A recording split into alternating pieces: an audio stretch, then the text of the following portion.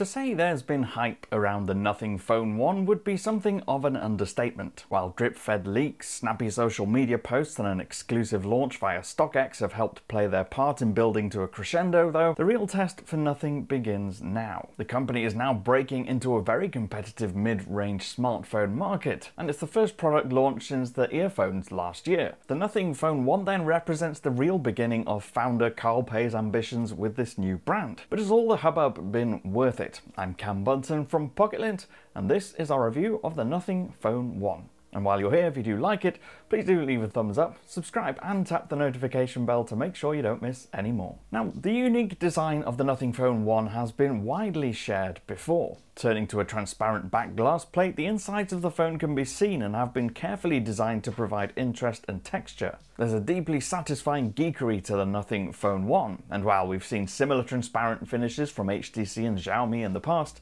those mostly showed off fake components. Nothing, the brand conversely had to consider what each of these components would look like if you could see them, and then design around that. Adding substance to the design is something called the glyph interface. These lines of white LEDs are designed to illuminate the rear of the phone and can actually notify you of different things. Notifications, the phone's charging status, and more are all carefully synced with the geeky sounds and the haptic feedback that the phone offers. But the question is whether the glyph interface is actually useful, and that's questionable. It's great for showing off to people and it certainly draws attention to itself. But once you're over the novelty, it really doesn't do that much, especially as we tend to put our phone screen up to avoid scratches, so it's often hidden anyway. At the same time as all this, there's something quite controversially conventional about the Nothing Phone 1. The angular aesthetic is highly reminiscent of recent iPhone designs even down to the shape and the location of the buttons. There's an in-display fingerprint scanner which works well, unlocking the phone without issue,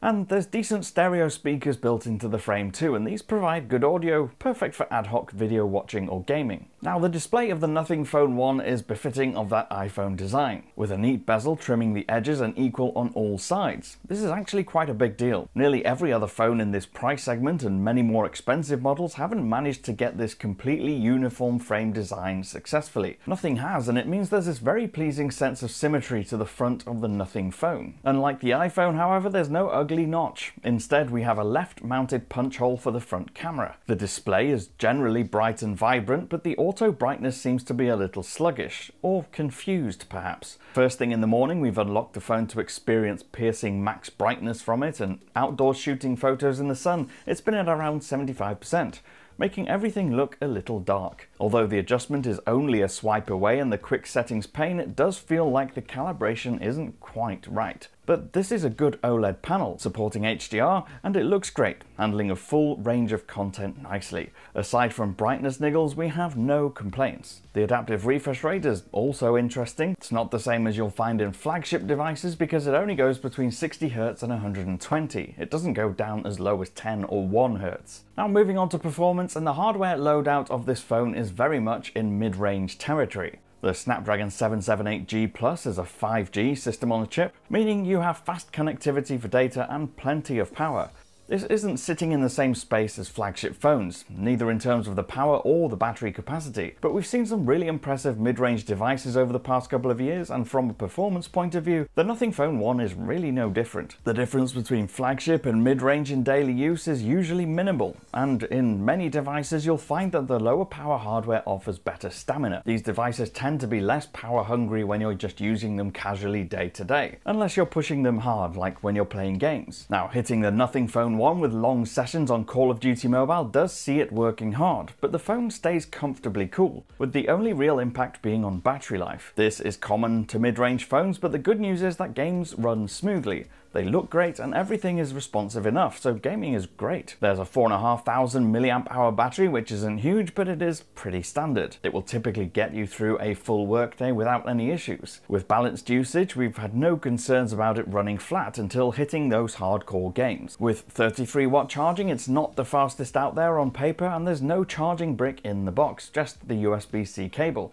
That means you'll need to use an existing power delivery charger to get the best out of your phone. However, wireless charging support does give you another option. And there's even reverse wireless charging available on the rear of the phone to help boost your headphones on the fly. So if you already have the Nothing earbuds, you can charge them on the back of your phone. And that's actually a remarkably rare feature in a mid-range device, as is wireless charging generally. Now overall in terms of performance we can't fault the Nothing Phone 1, not really. It's a solid mid-range performer hitting the same sweet notes as its close rivals, like the Samsung Galaxy A53 or the OnePlus Nord 2T. Now let's switch to cameras. There are two cameras on the back of the Nothing Phone 1, with Carl Pei claiming that they wanted to offer two good cameras rather than load it out with lots of pointless lenses. We're pleased that Nothing is keeping things realistic, but in reality, while the main camera is good, the ultra-wide doesn't really elevate itself above what's typical in this segment of the market. Starting with the main camera, it's capable enough with good detail and colour in daylight conditions,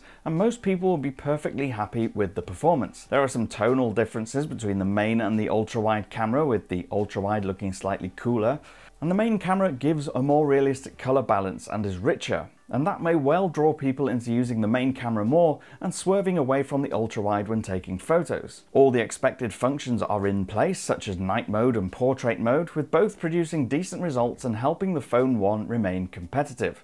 The portrait mode includes a manual option to adjust the aperture, changing the strength of the background blurring. And edge detection seems similarly good too, but it's also worth bearing in mind that with an f-stop 1.88 main camera, it can actually produce good background blur without the portrait effect. There's no optical zoom here, everything is digital, and there's a tap to jump to two times from the main camera, but the ability to zoom right up to 20 times. However, that's a little extreme because once you push towards that 20 times, you will get really bad mushy images. The front camera performs well enough in good lighting too, and also allows access to the portrait function, and again, the edge detection is pretty solid for those perfect selfies. Now before we wrap this up, let's talk quickly about Nothing UI, the phone's software. It is an almost pristine version of Android. There's no bloat or additions, and in that sense, it's closer to the experience of a Google Pixel than a lot of other mid-rangers. There are only a few minor changes, and nothing has infused the phone with its dot matrix system lettering and a few cool wallpapers to try and define the Nothing experience a little better. There are little touches that reflect this retro cool feel, like the tape-style voice recorder, but not a lot that's too substantial.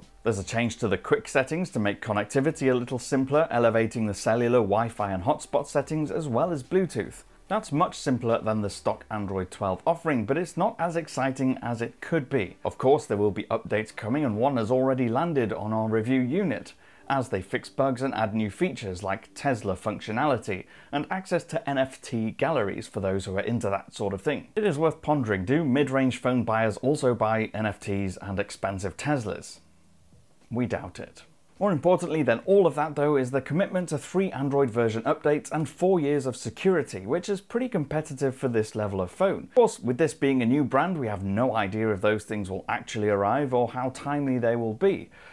With Samsung or Google at least, you have a better idea of what to expect. So overall then, the Nothing Phone 1 is a very solid Android phone, and certainly a very solid first offering from Nothing. It shows maturity in the software and offering performance that many will appreciate in the mid-range. The battery life is good, with the reverse wireless charging being a little more unique at this price point. Now, Nothing's aim of delivering two decent cameras doesn't really come through, but you do get a competitive main camera and avoid the multitude of junk lenses that many rivals push, so that's a positive. Really, the only thing that makes this phone stand out is the design. And we're more drawn to the intricacy of the back than we are to the glyph interface, which, beyond the novelty, is of questionable use. So the experience of using the Nothing Phone 1 is overwhelmingly positive, but we can't hand on heart say this changes things from the status quo drastically. Let us know what you think of the Nothing Phone 1 in the comments, or you can grab me on Twitter. I'm at Cam Bunton over there. Again, if you did like this video, please do leave a thumbs up, subscribe, and tap the notification bell to make sure you don't miss any more.